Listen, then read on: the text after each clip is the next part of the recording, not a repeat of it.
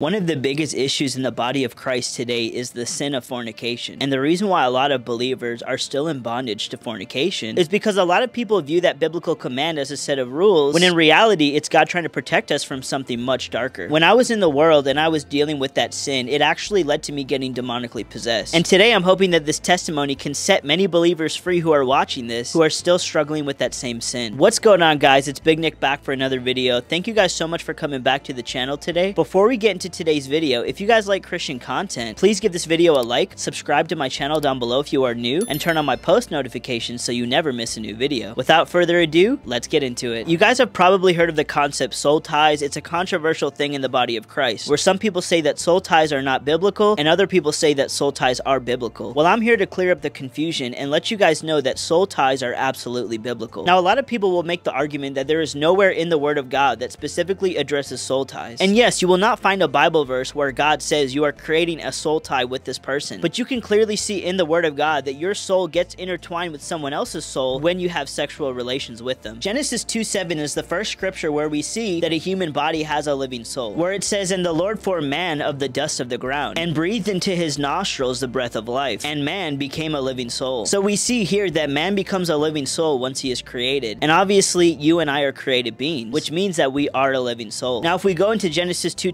2.24, it says, Therefore a man shall leave his father and mother, and shall cleave unto his wife, and they shall become one flesh. So you can make the argument, well, brother, it says one flesh, it doesn't say one soul. But the word of God clearly indicates that man is a living soul. So if you become one flesh with somebody, aka one person, you also become one soul with them as well. These are the mysteries of God that have been revealed in his word. So the argument that soul ties are not biblical is flawed, and it's not supported in scripture. However, the scripture does allude to the fact that soul ties are a real thing. And this is why you can't just sleep around with anybody because you don't know what people are carrying. A lot of people have demons that they haven't been delivered from. And especially if you're in the world, all you're doing is transferring demons with one another. And the reason I know this is because a demonic soul tie that I made in the world actually got me possessed with the spirit of murder. So this is back when I was 20, about six years ago, and I was living in Los Angeles. And I remember one night I went to a party in the Hollywood Hills. And obviously when you're in the world and you're under the influence and you're at a party and, you know, you're a man talking to a woman, one thing leads to another and you know what happens. So long story short, stuff goes down. Me and this girl end up fornicating and we start hanging out a lot more and a lot more. And soon I'm realizing that this is actually a very dangerous woman. And I remember one time I was in the car and I was in the passenger seat and I look at the passenger seat and it's completely scratched up, completely damaged. And I asked this girl, you know, what happened? Why, why is this car so messed up? And she told me, oh, don't worry about it. That was just my last relationship.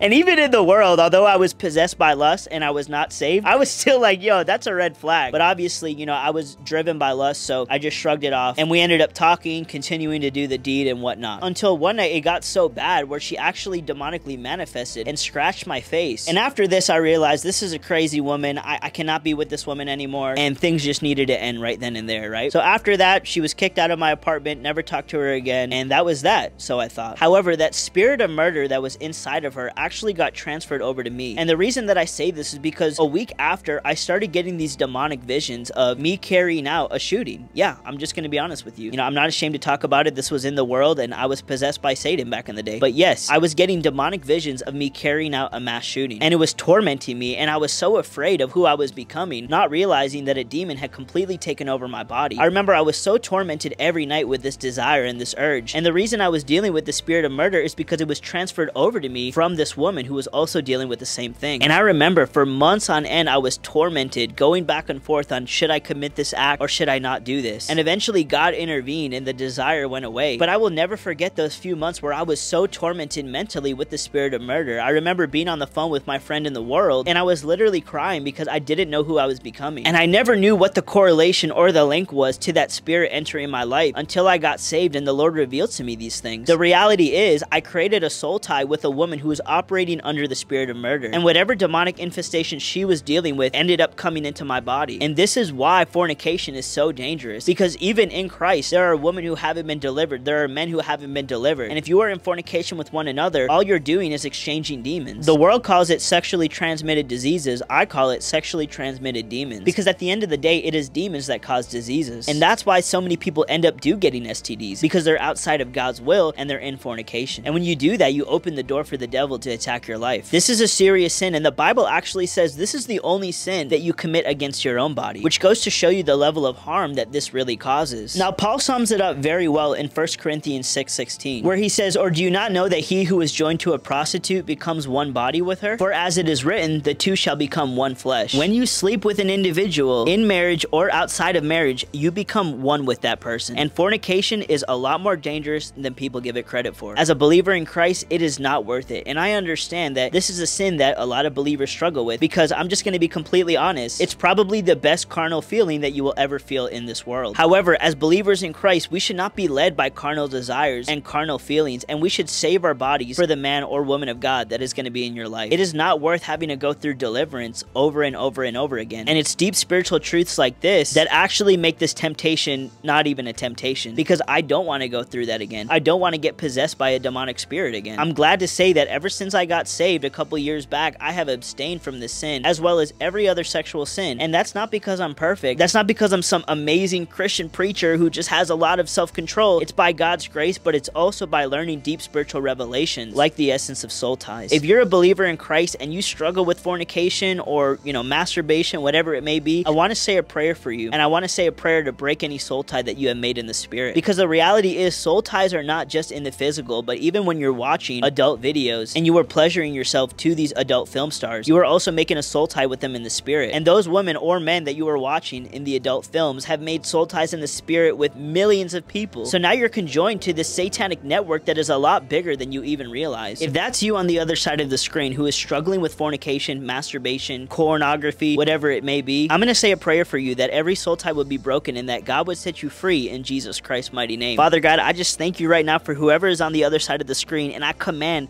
every single demonic spirit that has inhabited their temple from fornication, from pornography, from masturbation, that it would come out in the name of Jesus Christ. Every perverted spirit, spirit of lust, fornication, whatever it may be, I command every unclean thing to come out of this person's temple right now in the mighty name of Jesus Christ of Nazareth. You come out right now and you never touch this child of God again. Get out right now in the mighty name of Jesus Christ. I bind you right now with a threefold cord that cannot easily be broken, and I command you go to the abyss right now in the mighty name of Jesus Christ, never to return to this man or woman of God in Jesus Christ's mighty name. Come up and out in the name of Jesus Christ. The reality is, as a Christian, if you do end up in fornication, you are going to have demons enter your temple. Just because you believe in Jesus Christ doesn't mean that you can live in sin and not have a demonic door open and a demonic spirit to dwell within you. And you should walk with the fear of the Lord in this manner. You don't want to open your body as a habitation for demonic spirits. To my brothers and sisters in Christ, trust me, wait until marriage. It is worth it. You don't want to make a soul tie with the wrong person because that person could be sent by Satan to destroy your destiny. There's times where I've seen people in my personal life have their destiny in Christ be destroyed by fornication and God has never reestablished their anointing or mantle. It's a very terrifying thing and you don't want to be that person. You want to walk into the fullness of what God has for you. And if you have to lay down a cardinal temptation like fornication to walk into the fullness of the call of God, I'm telling you that's worth it. Look, at the end of the day, sex is a beautiful thing. God created it for his glory to represent his covenant with us. But if it's outside of his will, if it's outside of marriage, it is going to be a recipe for your destruction. Guys, I do want to mention I just dropped a new music video called Yahweh Calling, and it is officially out now on my music channel. I'm trying to fight against the demonic music industry, and I'm trying to turn the tides by making Christian hip hop music. So if you guys could go to my music channel, click like on that video, and leave a comment on it as well, it would really help us a lot in the algorithm. And at the end of the day, it's the saints of God like you and me that can truly make a difference in this world for Jesus Christ. So please show some support. The music video link is in my description. Hit that like button, give it a comment so we can help it get boosted in the algorithm, and I really